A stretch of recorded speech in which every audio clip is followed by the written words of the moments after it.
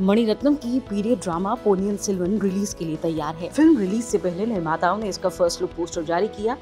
सालों के रिसर्च के बाद 500 करोड़ की लागत से ये फ़िल्म बन रही है। शेयर की गई इस पोस्टर में चोल साम्राज्य की झलक देखने को मिली। मोशन पोस्टर में कुछ लोग चोल राजवंश का झंडा फहराते नज़र आ रहे हैं। कैप्शन में लिखा है, चोल राजवंश के लोग आ रहे हैं। सुपरस्टार विक्रम का फ़र्स्ट लुक जारी कर दिया गया है। सोशल मीडिया पर विक्रम का ये लुक छा गया है। इसे देख फैंस खुशी से झूम रहे हैं। फ़िल्म में विक्रम चोला राजा आदित्य करिकलन के रूप में नज़र आएँगे। जारी किए गए फ़र्स्ट लुक में आदित्य के रूप में विक्रम का बहुत ही ज़बरदस्त अंदाज नज़र आ रहा है।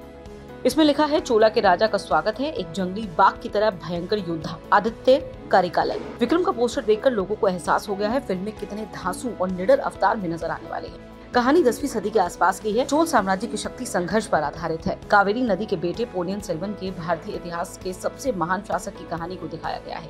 जानकारी के मुताबिक निर्देशक मणिरत्नम की ये फ़िल्म करीब 500 करोड़ के बजट की है। 30 सितंबर 2022 को रिलीज़ होने वाली फ़िल्म में साउथ सुपरस्टार विक्रम जयम, रवि कार्थी ऐश्वर्या राय, बच्चन तुषार ऐश्वर्या, लक्ष्मी संग कई कलाकार नज़र आएँगे। फ़िल्म तमिल के अलावा हिंदू, तेलुगु, कन्नड़ और मलयालम में रिलीज़ की जाएगी। मोशन पोस्टर को फ़िल्म के music composer A R Rahman और इसकी अन्य टीम ने भी साझा किया। और शेयर करते हुए ये वादा किया कि आने वाले हफ़्ते में दर्शकों को भरपूर एडवेंचर देखने को मिलेगा।